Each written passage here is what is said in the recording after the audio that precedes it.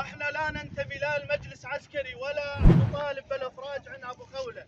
إحنا عشائر لماذا تقتل فينا قسد اقتلوا ابنائنا وروعوا نساءنا. وإحنا نطالب ونحمل المسؤولية للتحالف بمحاسبة كوادر غسد المعنيين من كوادر غسد وأشعلوا هذه الفتنة.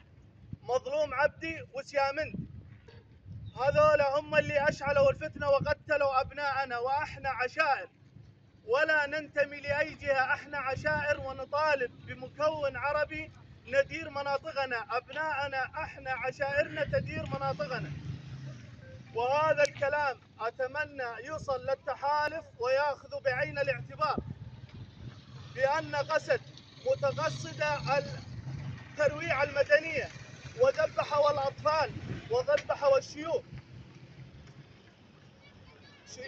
وذبحوا شيوخنا.